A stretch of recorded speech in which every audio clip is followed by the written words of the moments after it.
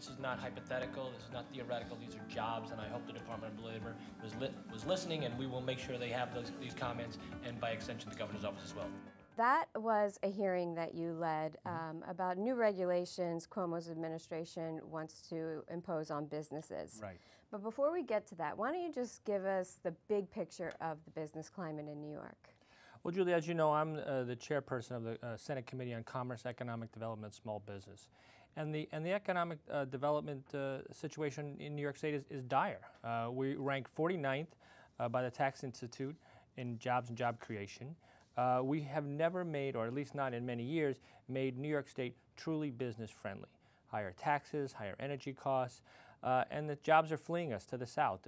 Evidenced by, since 2010, uh, we've lost over a million New Yorkers to other states, by far the most of any state, and that says something. So the only way we're going to get uh, young people and, and businesses to come back is to make it more affordable to do business and be more, truly more business friendly. So how do you do that? Well, I mean, the obvious choices are, are taxes, uh, lowering taxes and lowering energy costs. One thing that we've done in the Senate uh, majority uh, is to try to make the 2% tax cap permanent. It hasn't passed uh, in the Assembly, unfortunately, but it passes uh, already in the in New York State Senate. Will continue to pass, and also other opportunities to to do away with overregulation in New York State. New York State has really always overregulated uh, our businesses. Some regulations, obviously, are very important, but others go far too much. So tell us about that regulation that we saw at the beginning of the program. Yeah, th this this was a crazy one. It's called call-in pay. There's a couple different names for it, but uh, most people call it call-in pay. So the Department of uh, Labor in New York State, this is not did not go to the legislature, wasn't a law passed, wasn't a bill. Uh, they came up with a regulation requiring that business owners, uh, a lot of small business owners, must pay their workers uh, if they're not notified 72 hours advance that they are not co not coming in for the, a shift. There's other aspects to it, but that's the big part.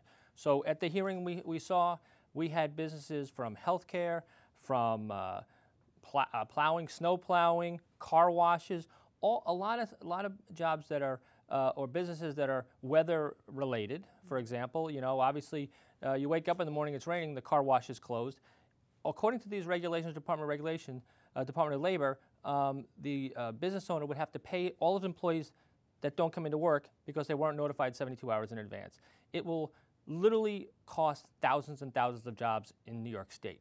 Now, one of the things I found most amazing was the Department of Labor, when they issued these regulations, said they would have no effect on jobs. Well, at our hearing, we had nine business owners, and just of those nine business owners testifying, they said, we're probably going to lose between three and 4,000 jobs just in those businesses alone. You can imagine on a statewide uh, basis. So uh, the, the uh, common period where, as New Yorkers, we're allowed to comment on any proposed regulation I urge any business owners in New York State to comment and let them know they're concerned about this, these regulations. Uh, it's been extended until January 22nd. Um, hopefully, uh, they'll let people, let the governor's office, the Department of Labor know uh, that they do not want these regulations because it will cost jobs. Right. So the fact that the Department of Labor did not show up at that hearing, does that indicate something to you? Well, they told us it was because the comment period was still ongoing. They weren't supposed to be there.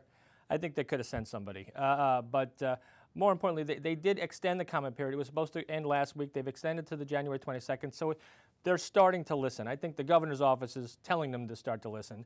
Um, but so many times we see this. Uh, there's some bureaucrat in a, in a building in, in Albany that come up with these ideas who think it's good, and you know, to, to be fair to workers, to make sure they get paid uh, for uh, a job that they may not be uh, uh, called upon to do. But a lot of workers, most workers, realize that their job is weather dependent. Mm -hmm. And it wasn't just that; it was also uh, there were stories like a restaurant owner came in and said, if he has two employees, one's working Friday night, the other working Saturday night, and suddenly Thursday, uh, one of them wins tickets to a concert on Saturday on the radio, right?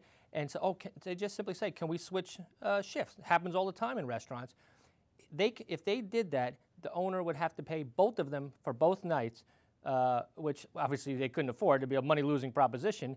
Uh, things that have gone on in business for years among the employees would no longer work. So actually, it's going to cost more people jobs. Now you take a look at the paid family leave mm -hmm. that was just put in place for this year. How That's does right. that go into effect, I bet. And, and more more costs involved. I mean, mm -hmm. some of it, uh, thankfully, it's being paid for from employee uh, payroll deduction, but the minimum wage increase. We fought, and I certainly thought that $15 was too much.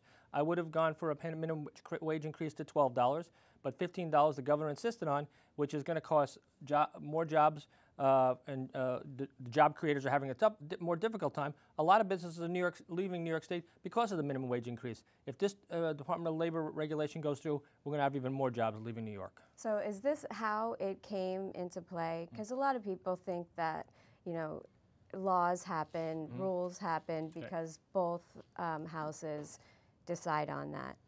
This, This is kind of like how the minimum wage thing came into play. Right. Exactly. that that was negotiated. We you know we didn't get all we want. The governor really pushed that. He put a, a line in the sand about that. It was very difficult. It was part of the budget negotiations. You know, you have a 155 billion dollar budget, and the governor insists on some things, or he's going to shut the government down, as he likes to say. What he uh, New York State is unique, and I I think we need to change it. The governor of New York State has more power in the budgetary process than any, any other governor in the country. Uh, he can literally shut the government down uh, if he doesn't get his way on a lot of these things. And he can mandate, if we do not pass a, a budget by April 1st, he can just put everything he wants into the budget after that. So that's not a good way to go either. I think we should change the New York State Constitution to make it more of a balance between the legislature and the governor, All right, so we will keep our viewers informed on how this plays out. without a doubt.